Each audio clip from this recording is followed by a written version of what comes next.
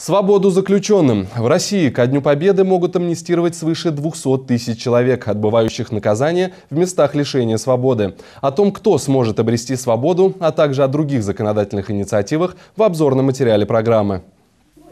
Производителей игрушек хотят наказать за отсутствие возрастной маркировки. Депутаты Госдумы намерены бороться с засилием небезопасных иностранных игрушек.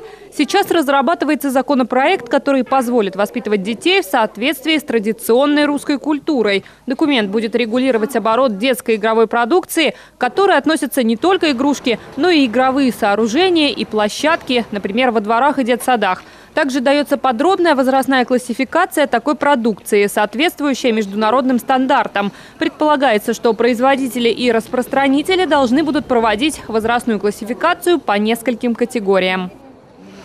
К юбилею Победы освободят около 200 тысяч заключенных. Об амнистии к празднику заявил президент Владимир Путин. Из документа, опубликованного на сайте Кремля, следует, что освободить могут до 200 тысяч условно осужденных.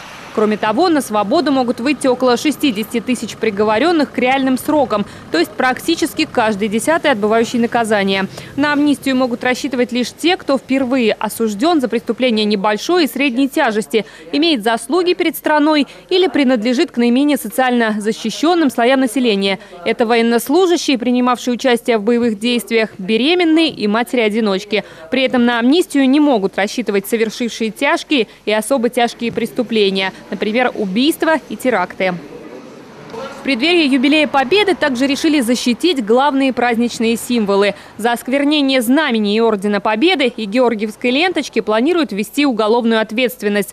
Соответствующую законодательную инициативу готовят в Госдуме. Сейчас федеральное законодательство предусматривает административную ответственность за нарушение порядка использования государственных символов и уголовную за надругательство над флагом или гербом страны. Наказание за осквернение символов победы хотят установить по аналогии с наказанием в отношении символов государства. Речь идет об ограничении или лишении свободы на срок до одного года, либо аресте на срок от трех до шести месяцев.